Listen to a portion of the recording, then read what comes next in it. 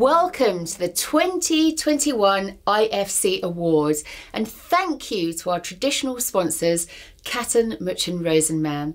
We're going to take a quick tour of some of the IFCs through the words of those who know them best. Welcome everyone.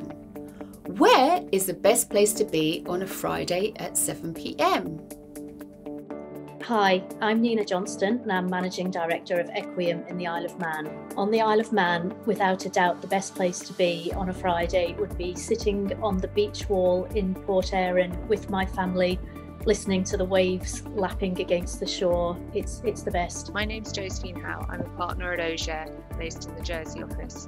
We have many wonderful beaches in Jersey, but on a summer's evening, one of my favourite places to be is at St Ouen's Five Mile Beach for a sunset swim and a barbecue with friends and family. My name is Elias Neocleous.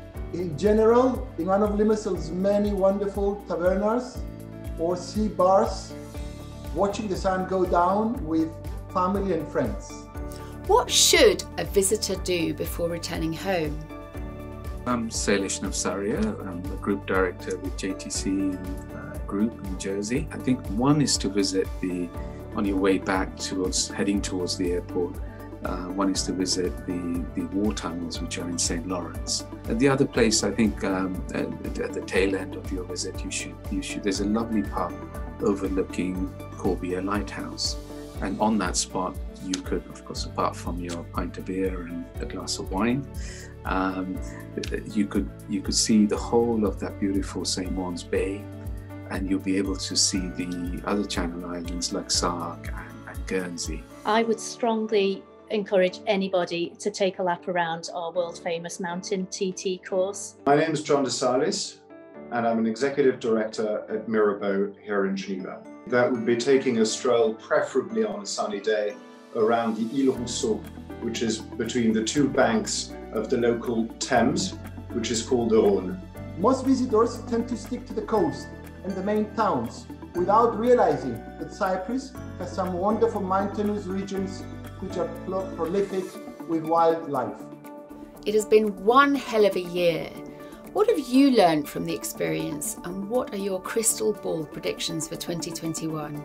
I think one thing that will surprise people this year again is going to be how incredibly adaptable and resilient we humans are. To me, the magic word for a professional services firm or a law firm is sustainability.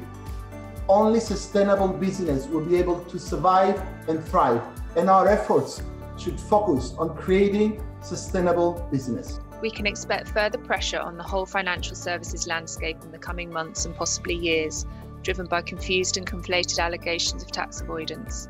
That pressure will undoubtedly be brought to bear on IFCs, and Brexit won't help. Quality IFCs not only have a role to play in economic and social recovery, but the expertise, neutrality, and stability they offer is absolutely fundamental in enabling economies to be rebuilt. The experience that this lockdown is teaching us is that, you know, no matter how good we think we are as a business, and, sometimes we are distracted, we get complacent with our um, with our markets, we get complacent with uh, being focused too internally. Um, but we forget that actually our customer, our client is also evolving. They've also gone through a different experience. Um, their own businesses have also had an impact, so they're reviewing those businesses as well. And what we'll need to do to deliver that service and to improve um, the sort of products we offer uh, and service lines we offer, we will have to be much better tuned um, and, and be willing to be more flexible in terms of adapting to the changing needs of the customer.